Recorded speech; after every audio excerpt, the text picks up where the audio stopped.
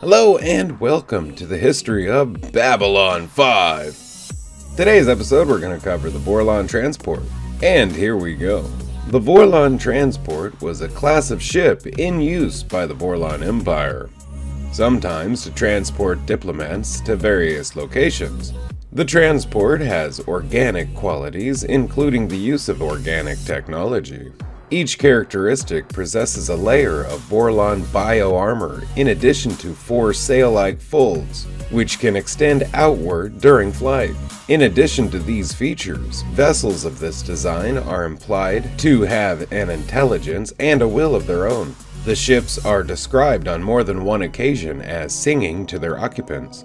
Ambassador Kosh's Vorlon transport arrived at Babylon 5 in 2257 and docked in Bay 9. Two years later, it was primarily docked in Bay 13. The ambassador used this transport to travel to and from the Vorlon Empire. Kosh and the ship also seem to have a partly symbiotic bond. In 2260, the vessel docked with Babylon 5, with Lyta Alexander as a passenger. When Kosh died, the transport set course for the nearest star, where it supposedly met its end.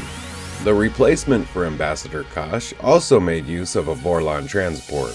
The ship appeared to have been destroyed when he and Kosh battled, but it eventually rebuilt itself and was used by Sheridan and Ivanova as a safeguard against the Shadows taking over Ivanova's new Warlock-class destroyer, the EAS Titan.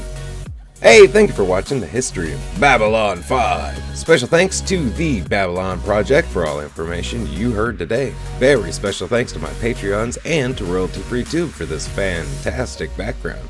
Don't forget to like, share, and subscribe if you can. If you have, thank you, and have a great day. Bye bye.